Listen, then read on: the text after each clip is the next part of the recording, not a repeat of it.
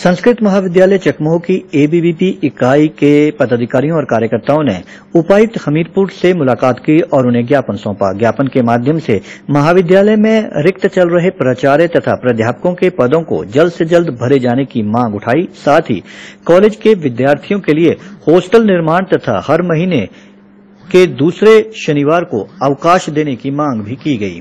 महाविद्यालय चकमू एबीवीपी के अध्यक्ष और इकाई अध्यक्ष हूँ और हम आज डीसी मैम से मिलने आए हैं, ताकि जो हमारे कॉलेज हमारे महाविद्यालय में जो समस्याएँ या मुद्दे हैं, उनको लेकर, उनको अवगत करवाना चाहते हैं। हमारे महाविद्यालय के पास जब से महाविद्यालय की संस्था शुरू हुई है, तब से ज़मीन है, लेकिन आज तक उसके ऊपर हॉस्टल का कार्य नहीं हुआ है। उसको 1975 में संस्था शुरू हुई थी, आज तक उसके उसके ऊपर कोई कार्यवाही नहीं की गई है। तो हम पहले भी सभी हम ज्ञापन दे चुके हैं लेकिन आज तक फिर भी कोई भी जो हाल है उसका नहीं निकला है।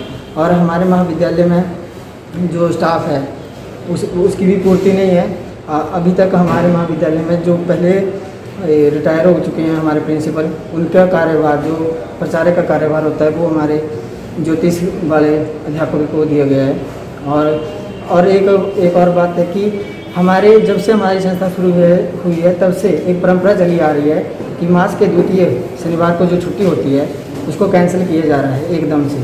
जिसके बारे में ना ना किसी बच्चों को, किसी बच्चे को अवगत नहीं करवाया गया एकदम से इस छुट्टी को लेकर छुट्टी बंद करने का निर्णय ले लिया गया है। तो हम चाहते हैं हमारे महाविद्यालय में दूर दरा, दूर दराज के क्षेत्रों क्षेत्रों से बच्चे जो हैं वो पढ़ते हैं। उनको हॉस्टल के लिए, उनको, उनके लिए हॉस्टल और उनको मास एक महीने में घर जा, महीने में घर जाने के लिए जो शनिवार का, जो द्वितीय शनिवार है, उसका अवकाश था, लेकिन उसको बंद कर दिया गया है। तो हम चाहते हैं कि उसको सुचारू रूप से, जिस तरह पहले से परंपरा बनी रही है, चली आ रही है, उसी तरह चलाए रखे। जाए